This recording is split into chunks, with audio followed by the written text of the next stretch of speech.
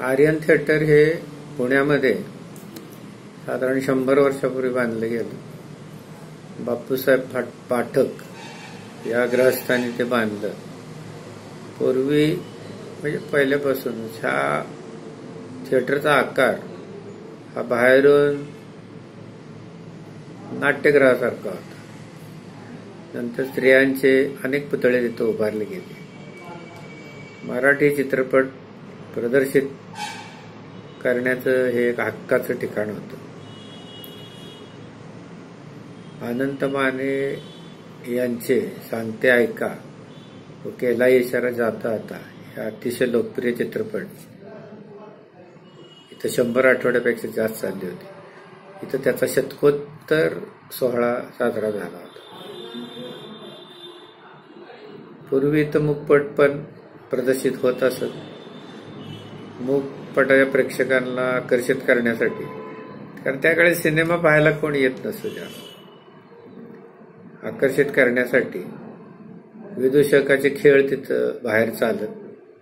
मूकपट चालू असताना आवाज करण्यासाठी काढण्यासाठी वादक व प्रॉम्प्टर तिथं थिएटरमध्ये असत.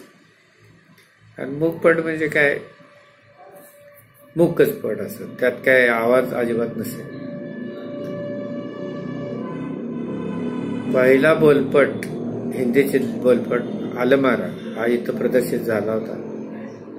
तसेच पहिला मराठी बोलपट अयोध्येचा राजा हा सुद्धा इथं प्रदर्शित झाला होता.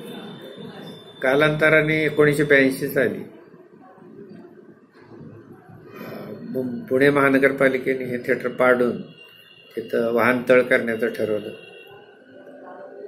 साधारण हा मंडईचा परिसर असल्यामुळे इथं गर्दी रहदारी खूप होती. वाहनतळासाठी जागा नव्हती. त्यामुळं तो त्यावेळेला ते नगरपालिकेने महानगरपालिकेने ते थिएटर पाडलं आणि तिथं हा वाहनतळ उभा केला. हा एक मराठी चित्रपटांचा चालता बोलता इतिहास म्हटलं पाहिजे आर्यन थिएटर हे थिएटर जुन्या पिढीतल्या लोकांना आठवत असेल. व त्यांना वाईटही वाटलं असेल ते पाडल्यानंतर. पण काळाच्या पुढे काही चालत नाही.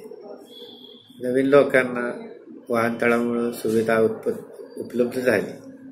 त्यांच्या दृष्टीने समाधान समाधानी बाग बाब आहे. आणि जुन्या लोकांना साधारण थोडं दुःख झालं. कारण त्याच्याशी त्यांच्या आठवणी निगडीत होत्या. अर्थात काला येतच नाही. याला कोण काय करतं?